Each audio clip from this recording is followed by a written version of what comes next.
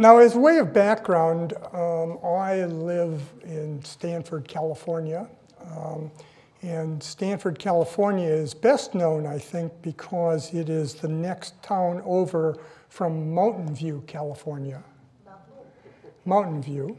Um, and I presume that most of you recognize Mountain View. Um, Mountain View is the home of Google. Um, and the reason why I bring that up is that I'm going to start with what I think of as the Google Earth view of education. So if all of you who have Google Earth on your computer, you start about at Saturn and sort of float in to whatever address you want. And you could float into the Kansas City Public Library um, on the Google spaceship. Um, I'm going to float into American public education starting at about Saturn for, in many ways. Um, uh, and then try to get down a little closer to Earth, but I probably won't land the craft, uh, I'll tell you now. Um, let me talk, let me mention what I'm going to talk about. The questions that I have for tonight, um, I'm going to try to answer four questions. One is, does achievement matter? Um, and you might say, well, what a, what a silly kind of thing to start a talk about. You're all here because you know achievement matters. Um, the reason why that's up there is that I'm going to try to convince you that you've all underestimated the importance of achievement. And so my task here is to say that, well, you think it's important, but you don't think it's important enough. And it's more, much more important. Um, the second is, is the US competitive? Thirdly, a little bit closer to home here is how is Missouri doing? And then fourthly, are there things to be done? So those are the topics I want to cover, and, and we'll get into obviously teacher quality since that was in the title as we go along. But I should say, I, am not sure if I should say this in a library. I never know what I should say in a library, what's, what's legal or not. Um, but I hate people who give talks as if they're mystery novels. Um, and they're going to play this out over time. So the answers are, here um, are very clear. The answers are yes, no, not so well, and yes. So if you'll remember those answers, I'm going to fill in some details to those answers as we go along. I hope that's okay, Crosby, that I give the, the punchline first. Uh, okay. Now, interest in education is not a new thing, um, as you might know. I'm going to give you a little bit of history.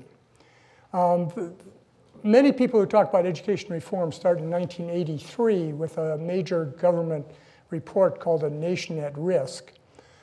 That report was remarkable as a government report because it was written in such flowery, flowery language. Um, it talked, um, if a foreign power imposed our education system on us, we would declare it an act of war. And things, statements like that, and talked about the rising tide of mediocrity and so forth. Um, George H.W. Bush convened all of the governors um, in Charlottesville, uh, Virginia, to talk about education in 1989. It was a remarkable event because governors don't show up for anything, right?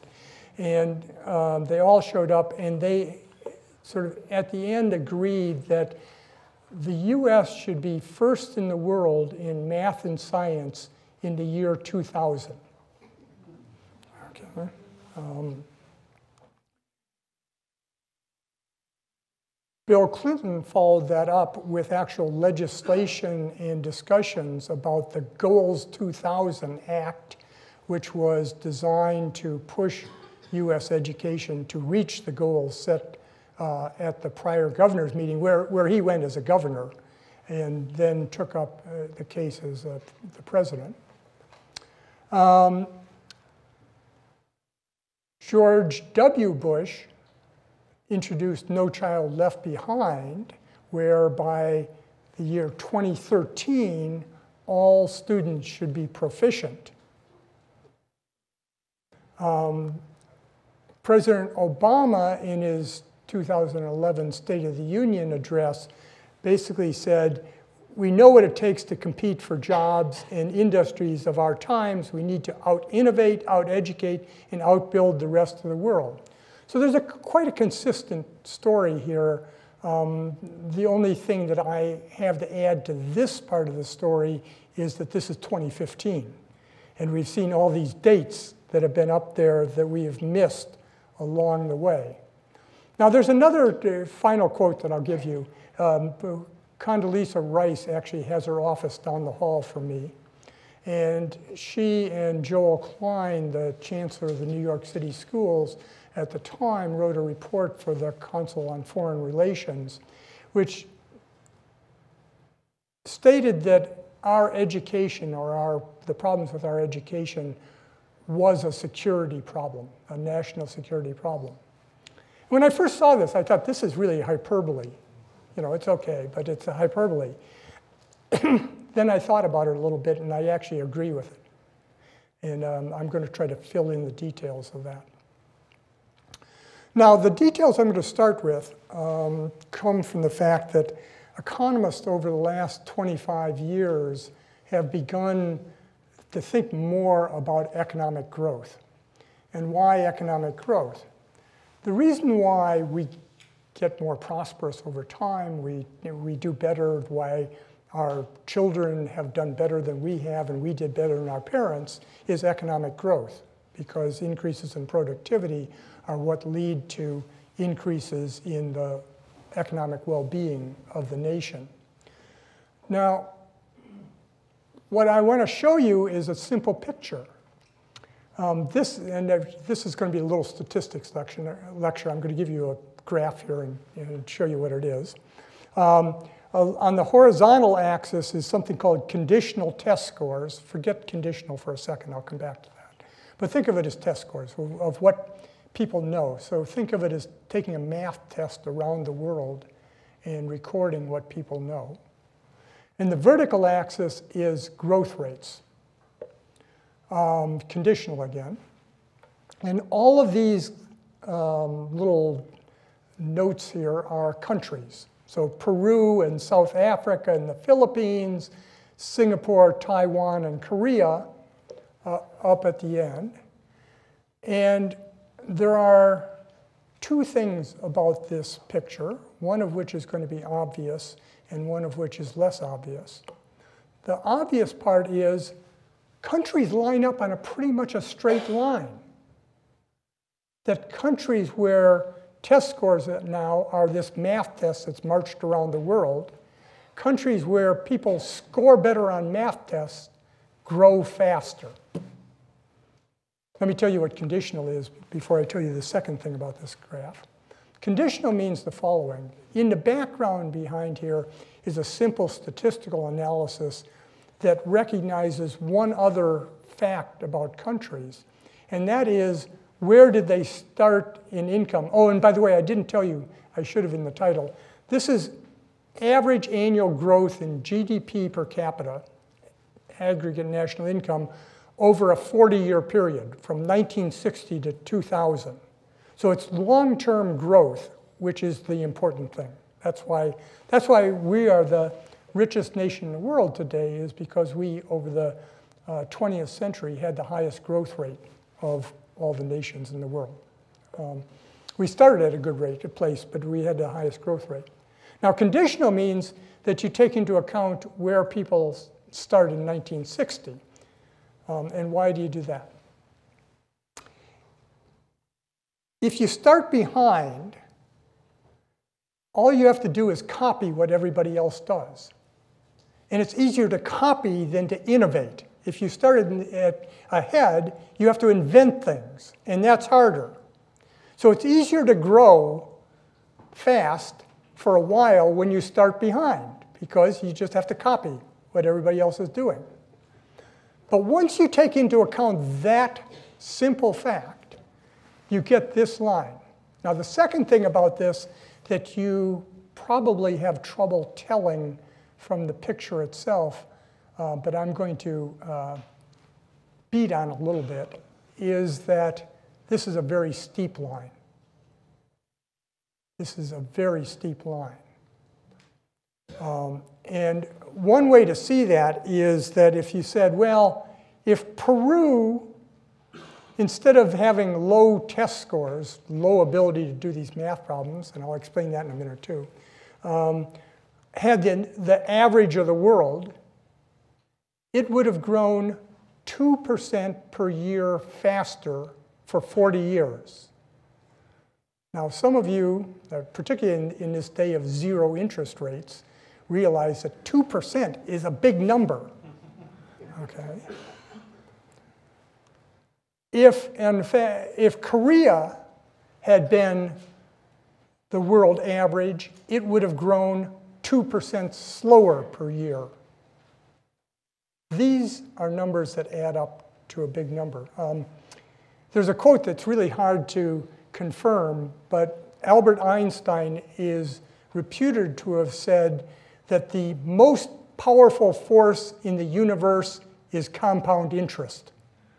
Um, and that's what's behind this, because this is annual growth that's compounded over time. Now,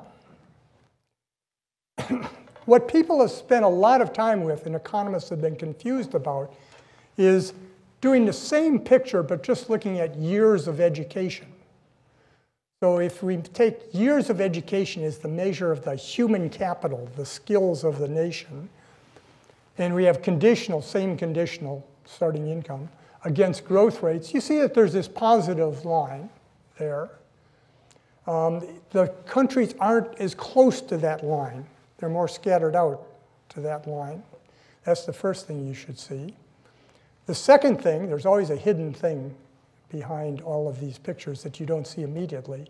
But the second thing behind this line is that it's wrong.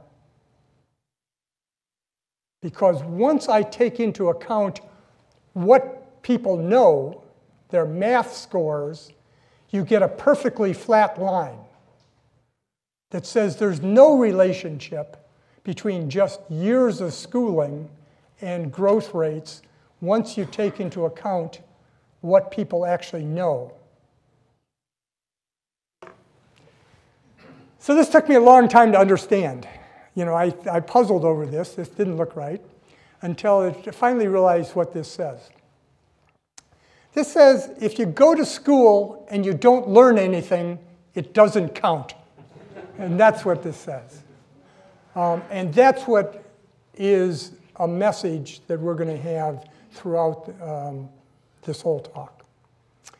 Now, this is the ratings of PISA is an international consortium. The developed countries of the world, OECD, give tests every three years now of math and science. That's why I talked about math, taking a math problem around the world. PISA and the OECD actually does this. This is a ranking of countries. Shanghai isn't quite a country, but it starts out at the top. But you have Singapore and Hong Kong and Korea and Taiwan and Finland. Finland, Pasi Sahlberg is going to talk about Finland, which has been one of the heroes. Um, and the striped line here is the United States. First in the world in 2000 in math and science. This is 2009, and we are far from first. I'm going to point out a couple other countries, three other countries on this because I want to talk about them in specific. Whoops, wait a minute. Um, before I do that, I'm going to go back to George H.W. Bush and the governors in 1989 who said, what if we became first in the world in 2000? So what I'm going to do is say, well, let's take the picture we have of how growth rates are related to achievement and just say, well, if that holds in the future, what would that mean for future GDP, future national income, if in fact we were first in the world in the, in the 10-year period that they talked about. This was 1989. By 2000, we were going to be first in the world in 2000. Here's the picture. Now the picture is, point, look at the green line first. These are years from 1989. meeting in Charlottesville, Virginia. Um, and we're going to be first in the world by 2000, and then I project that out for um, a long period of time. Um, and the vertical axis here is how much larger would GDP be compared to doing nothing? So if we were first in the world in 2000 versus whatever we've been doing. And the green line shows how GDP would start to grow if we had success by 2000.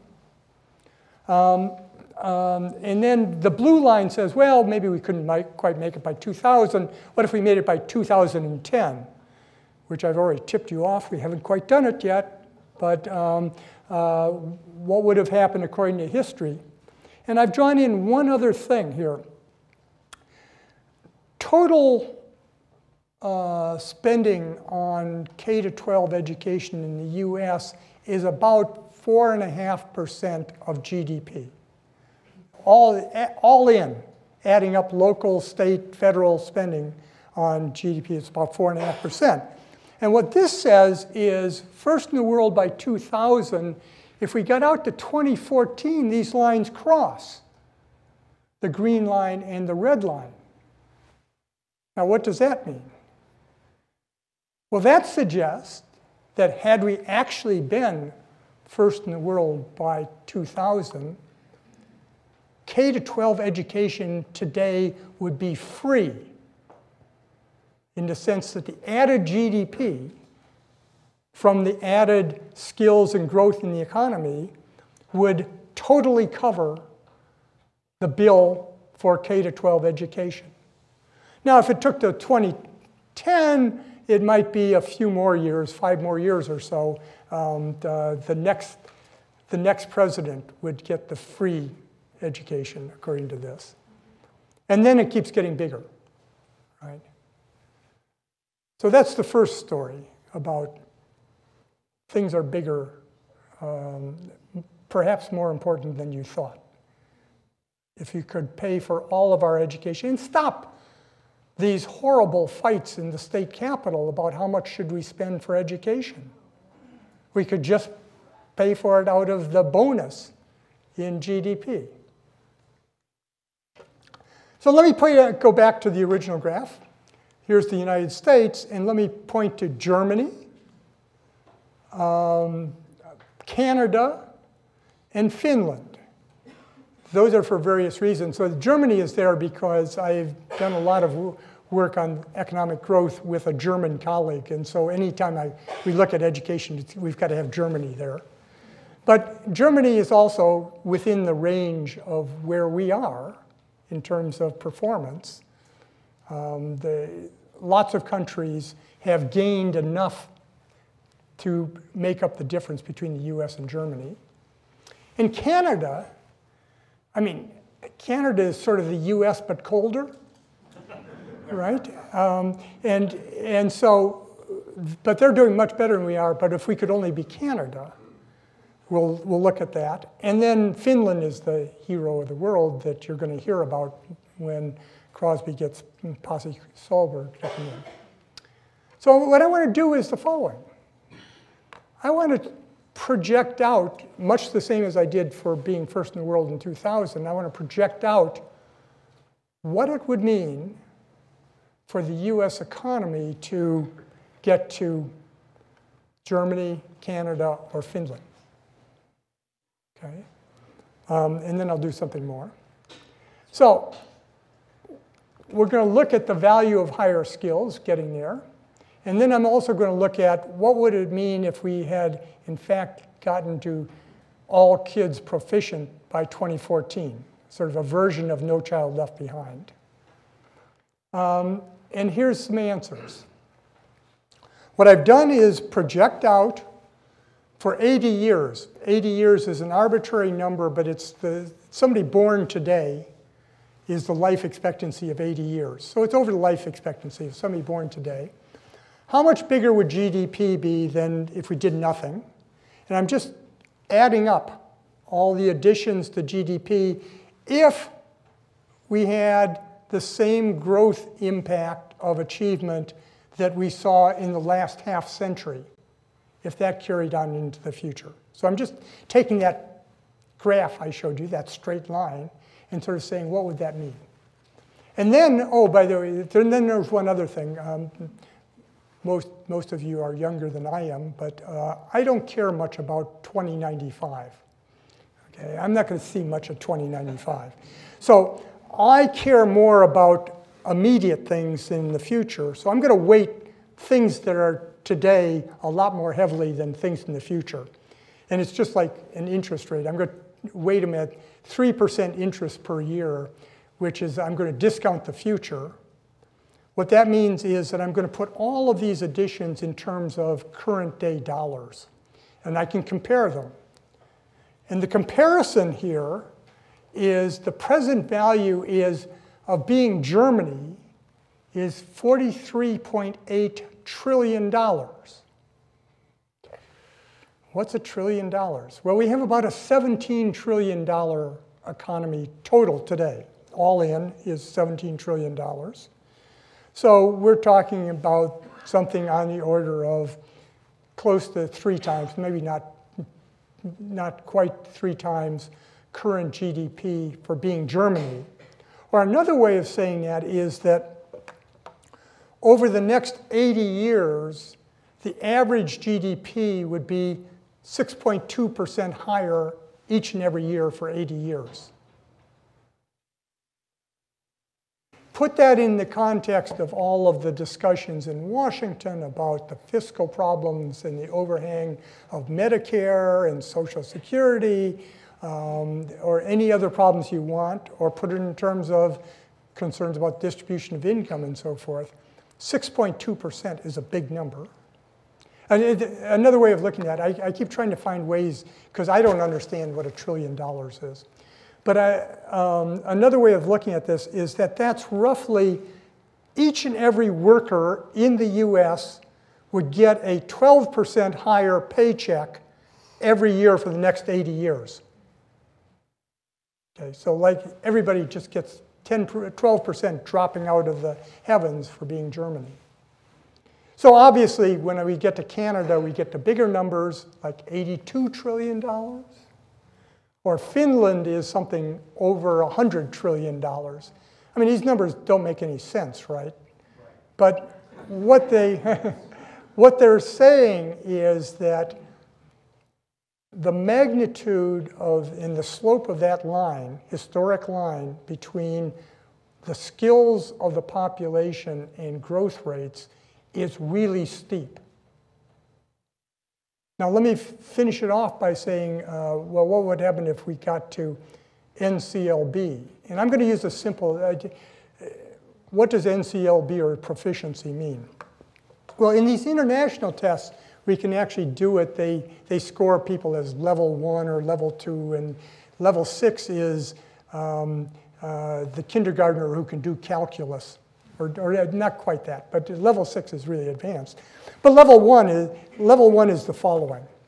Level one says, um, I flew here from California um, and I paid $650 for my airplane ticket. The exchange rate between the dollar and the euro is 1 to 1.1.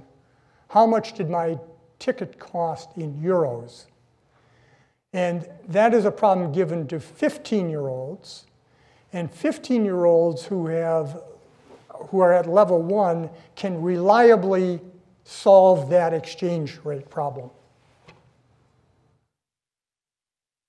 24% of US 15 year olds cannot reliably solve that exchange rate problem. So it's not Newton's calculus that we're talking about, but it's, we're talking about something very much simpler. And getting to NCLB is almost like being to Canada in terms of the impact on GDP and growth rates. By having a more skilled population, we would grow faster. Productivity would improve at a more rapid rate, and we would get the benefits of it. So that's the story. Um, anybody who had a number larger than $111 trillion coming in here. I apologize that I insulted you. that you, you did know how important education was.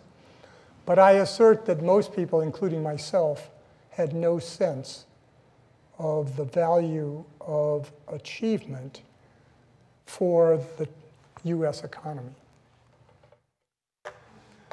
Now let me bring it back down a little bit to Missouri.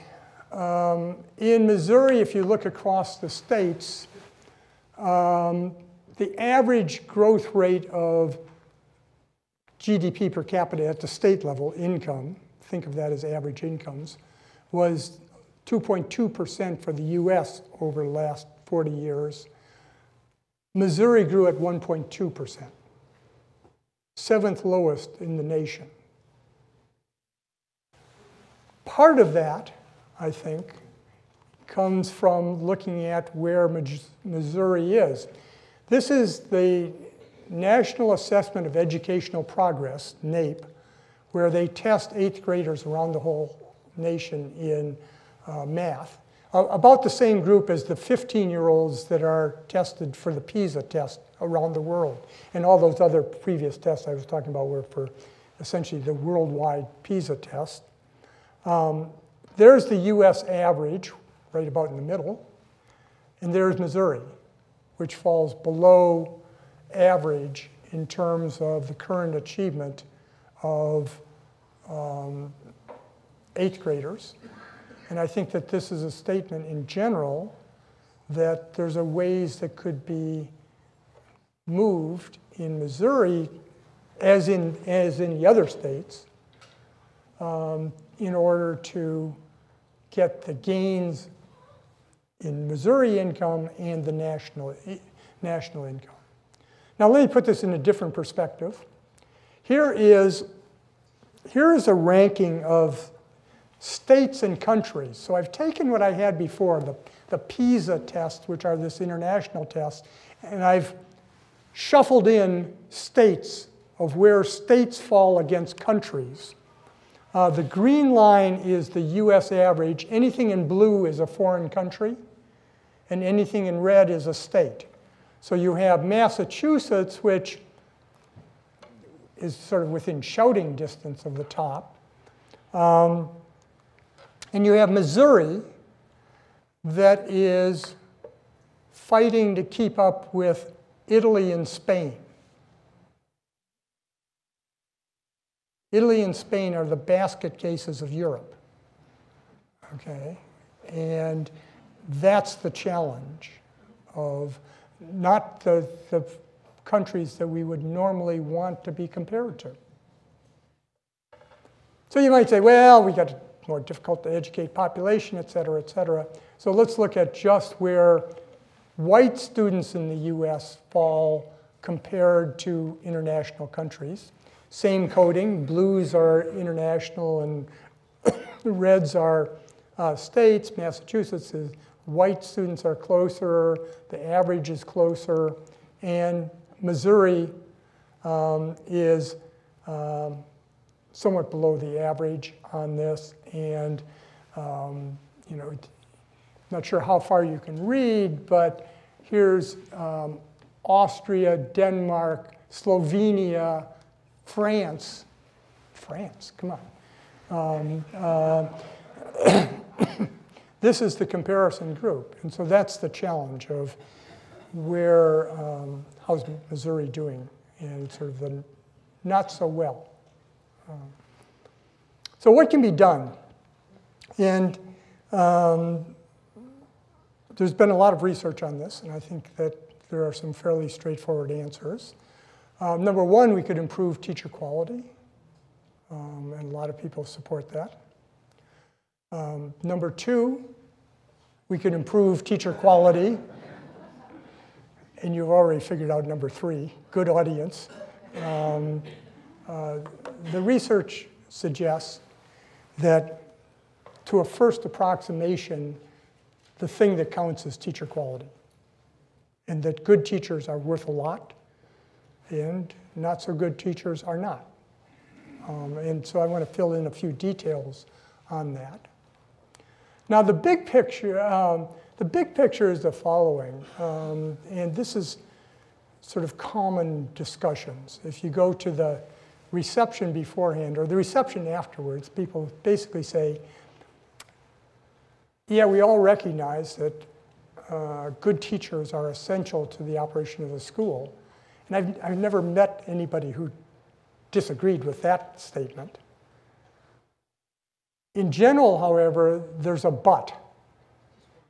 And the but is, oh yeah, but it's so hard to change.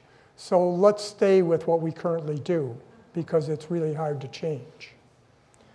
And the summary, bottom line, of the discussion to this point is that you have, there are very different economic futures depending upon which branch you think is more important and which you follow on the top.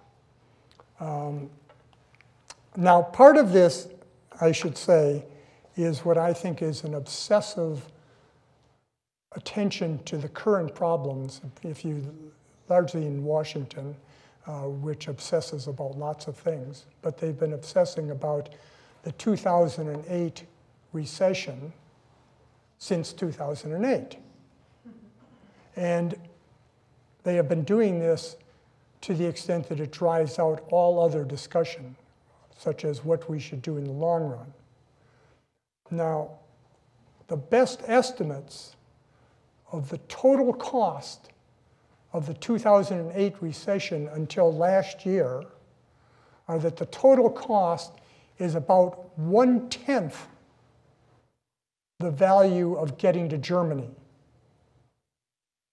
in terms of the economic impact. The cost is one tenth of that number of getting to Germany. Um, and yet there's very little discussion that I've heard of since 2008 that would suggest anybody looking at the longer run picture as opposed to what happened with the recession. Um, so let me, let me get down to teacher quality for a minute. This is getting into what can be done. Um, we now have some pretty good estimates of how different our teachers in terms of student achievement. We can say fairly confidently what is a top teacher going to do in terms of the achievement of her students and what is a bottom teacher going to do. And we know the variation pretty well of the value in terms of a student achievement. Now, when a teacher increases student achievement, I'm going to look at the long run impact of that because we have substantial evidence to suggest for individuals, people who know more earn more. And we have good estimates of what is the economic value in the labor market of knowing more, of having higher achievement. So all I'm going to do is put those two facts together. I know how much different teachers affect achievement, and then I know how much achievement affects earnings. And I'm going to try to calculate what does it mean for the students in a class to have a really good teacher this year versus a not so good teacher or an average teacher. And here's a picture. Let's look at, um, well, let's look at the top line. What this, this is a complicated graph, and let me explain this in some detail. Um, what I have here is first, it says class size. It's really the number of students that a teacher effectively has. It's not class size, but if, if a student uh, teaches four math classes uh, one fourth of her time in and sees on a, a total of 30 full-time equivalent students or something. That's what this is. So a teacher with more kids has more influence because over time, that teacher is affecting more students. So that says that the value of being a good teacher goes up with the larger number of students that a, uh, teacher teaches. So that's not nothing different there. Zero here is an average teacher. Um, so I'm going to compare everybody to an average teacher. I'm going to take the solid line is a 90th percentile teacher, a really good teacher, right? Is in the top 10% of all teachers. And this line says, what's the value in terms of the labor market impact on her students from being a 90% teacher compared to an average teacher? And this line keeps going up. Let me drop back instead of uh, 90% teachers is really top. Let's look at a 75th te teacher, percentile teacher, which is not, it's a good teacher, but not a singularly good teacher. A class of 30 with a 75th percentile teacher will, on average, for the total class, earn a present value of $430,000 more than the kids who had an average teacher, according to all the estimates we have. Each year, this is one class, one year, raising the quality of the students. And it has a, a remarkable impact. There's been some confirmation of these numbers, by the way, of recent study by uh, Harvard professor Raj Chetty and his colleagues that looked at the impact of primary school teachers in New York City and then went to the IRS tax returns for all the kids in New York City and found out their future earnings after they'd gotten through school and out in the future and saw that these numbers are essentially what they were seeing in, in round numbers. Of course, you realize that there's also a, um, another side to this picture. There are the 40th percentile teacher, the 25th percentile teacher, and the 10th percentile teacher. And those numbers, compared again to an average teacher, suggest at the end, at the extreme, is that there are some teachers out there, the bottom 10%, who, according to all the estimates we have, are subtracting $800,000 in present value terms from students when they get out into the labor market. this, to me, says um, this is important enough to pay attention to because we're talking about huge influences on the future lives of kids. What do we know about teacher quality? Here's where it gets, starts getting a little bit tricky. We have had extensive studies over a 50-year period now of the characteristics of teachers that affect achievement. And we have this list of characteristics that have been extensively looked at that, as a first approximation, do not have any systematic effect on achievement. With one asterisk, I'll get the asterisk in a minute. Having a master's degree, if you, most of you people look like you've been parents either now or in the past, if you walk into the school and the principal joyously comes up to you and says, you, you get a master's degree teacher this year, you should realize that that has no information about whether the teacher is going to be above or below average. There's a big variation. Um, oops. Experience has an asterisk because in the first two or maybe three years of teaching, people get better.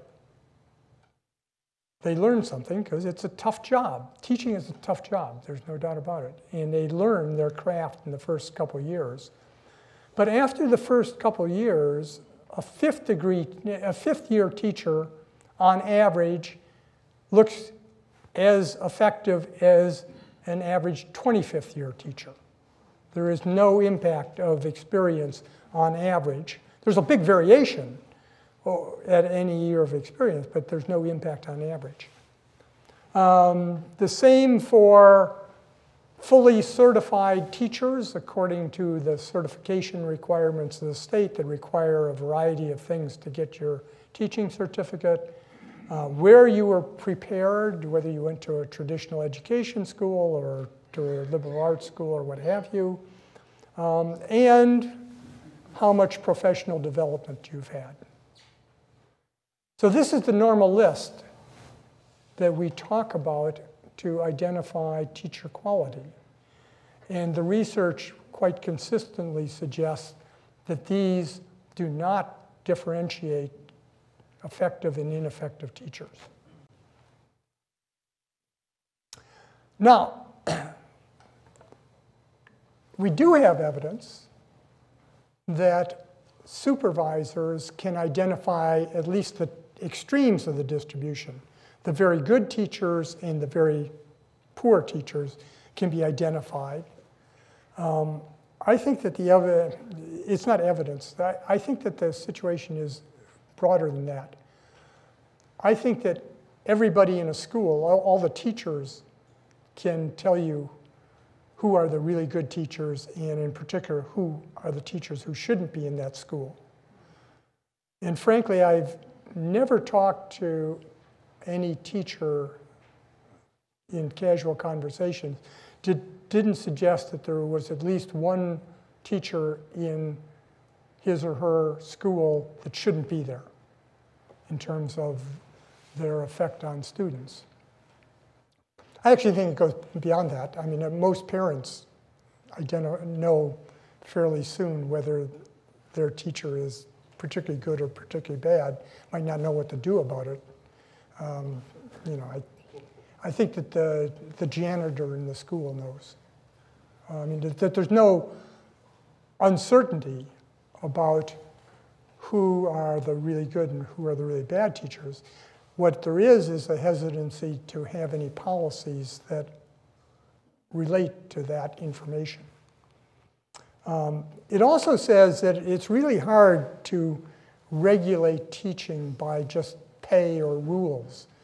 You know, when the State Department writes the rules for teachers, you shouldn't pay too much attention to them because we don't understand what are the characteristics and the background that's important. We know that teachers differ, but they are not readily identified in ways that you could write down in regulations. Now, one of the other parts of this is the way we pay teachers today. Um, this is uh, years of experience on the horizontal axis and salary, average salaries. This is 2007. It could be any year. I mean, it, what you know is that teachers get paid more with experience each and every year, and they get paid more for having a master's degree. So that this is the uh, teachers with a BA degree, how this is for the US, how average salaries go up with experience, and then there's this jump for master's degrees at any point in time. And if I put it all together, um, over half of our teachers today have master's degrees. And so that amounts to, if I took the total salary bill for teachers in the United States, 9.5% of that bill goes to paying bonuses for master's degrees. And, keep pushing the wrong button, sorry. 85% of the teachers have greater than two years of experience, and that's 27% of the total salary bill goes to paying those bonuses. And you say, but wait, we said that those were not systematically related to effectiveness. And they aren't. And that's what, so we're paying a lot of money now for characteristics that aren't very closely related to effectiveness. Um, so if you say, well, if we're going to change anything, where would we get the money? Um, So there's a range of approaches to thinking about teacher quality. Um, one is a favorite of economists. Why don't we align pay with performance? Radical idea. Um, what it takes is evaluations, which historically, until 10 years ago, you could say, well, evaluations of teacher, teachers was meaningless. 98% uh, of all teachers were superior, good to superior, uh, by across the country. That's starting to change, so that teacher evaluations in many places has changed to be much uh, more differentiated and to identify differences. Um, and then it sort of says, well, if you see a very successful teacher, why don't we reward her? Because you want to make sure that she stays in the classroom, that she continues to teach. And economists generally think that rewards encourage people to stay around. But that doesn't quite do it. So if I just give bonuses to the good teachers, what happens to the totally ineffective teachers, the ones we identified that probably shouldn't be in the classroom? Well, you know, they, they might grumble because they'd rather have more money, but they're happy with their job.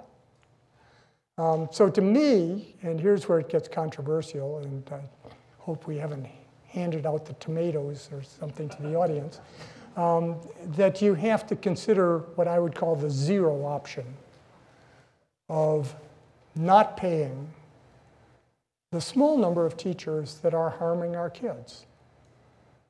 Um, now, let me, I've sort of did some estimates based again on what we know about the range of teachers, and there is some uncertainty about the difference between good and bad teachers. But let me do the following experiment. I'm going to line up all of the three and a half million teachers in the country today in terms of how effective they are, from worst to best. And we'll put them all in a single line starting in Kansas City. And it probably stretches to maybe Columbus or something, you know, when we line up all these teachers.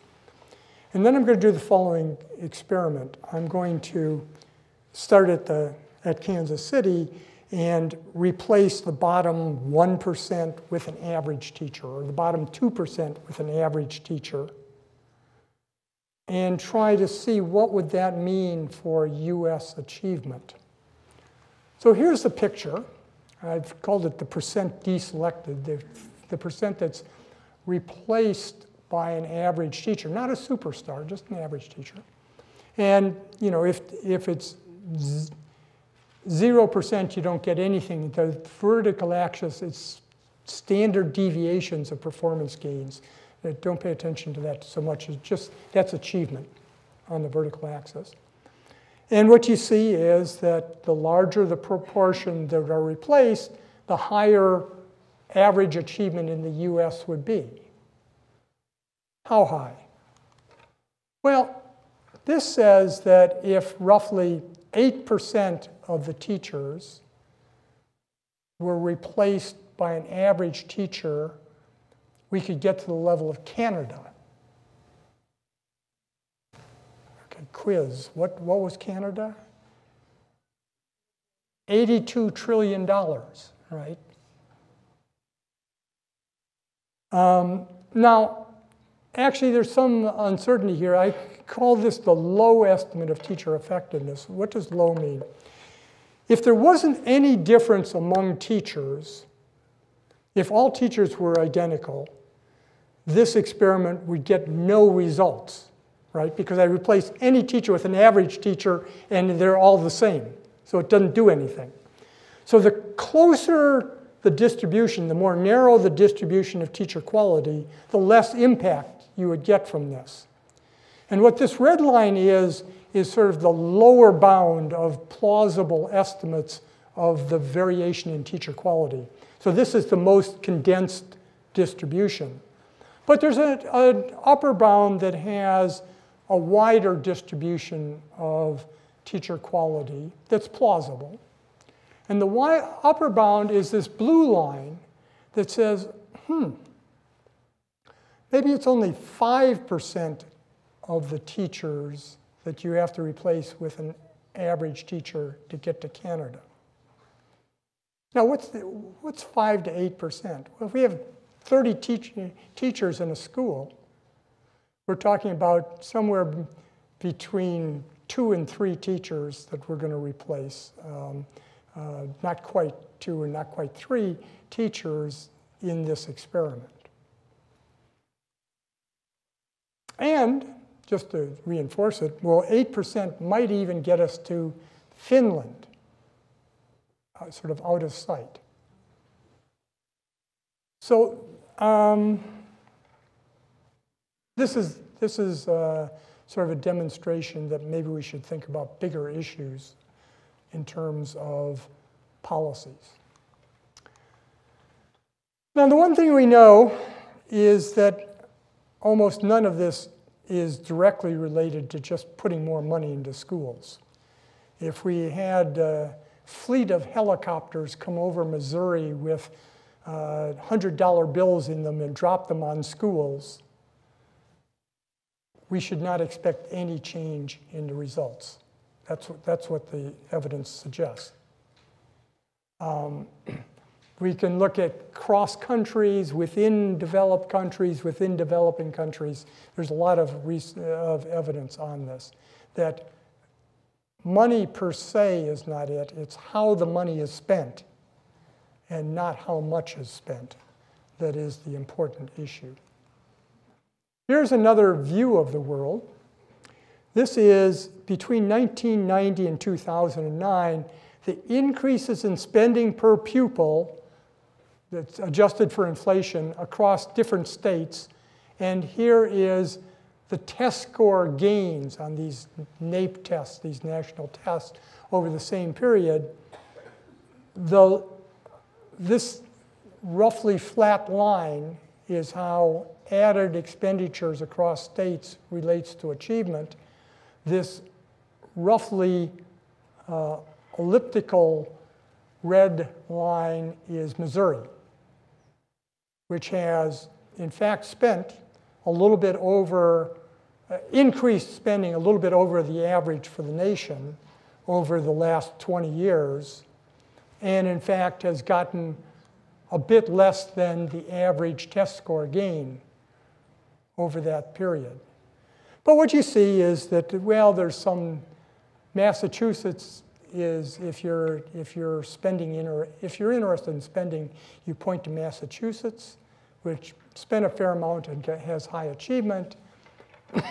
if you're on the other side, you point to Jeb Bush in Florida, where Florida essentially is spending the same in real terms now as 20 years ago and has the third highest increases in achievement um, of the nation. And then you see states scattered everywhere else. It's just this open picture.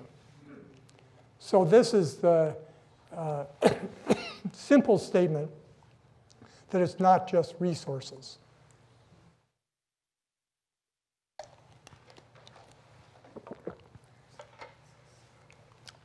Um, now my list, I'm going to go over this list fairly quickly, and um, uh, which perhaps will allow us, I'm, I'm, not sure of the timing, this may allow us some time for questions at the end. So I'm going to go through the uh, list fairly quickly. But uh, there's considerable evidence that good accountability for schools um, is positive, that having a good accountability system that holds schools responsible for results has positive impacts on learning. That's No Child Left Behind, which is a, a bad law by most standards. I mean, a, a bad law uh, from my standards uh, in terms of the way it's written. It doesn't do the right things. But as a bad law, it still had a positive impact on achievement in the US.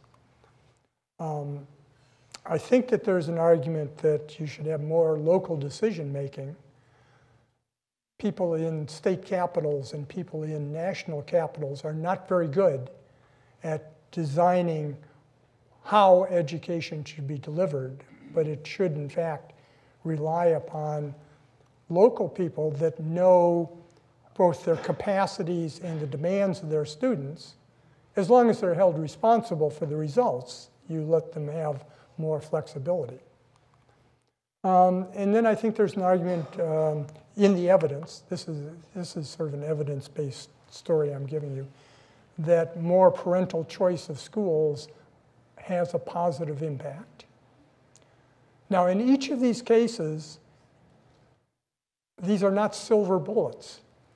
They don't magically transform education, none of these, but all of them have a positive impact and are things that add up to better performance.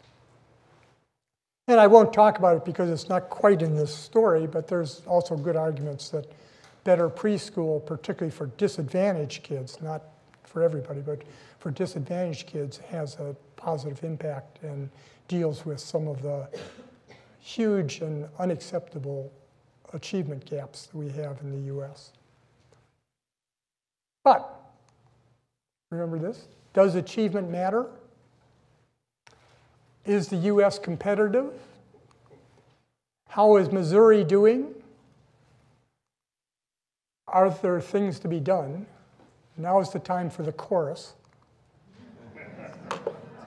And I'll stop there and hopefully answer um, some questions.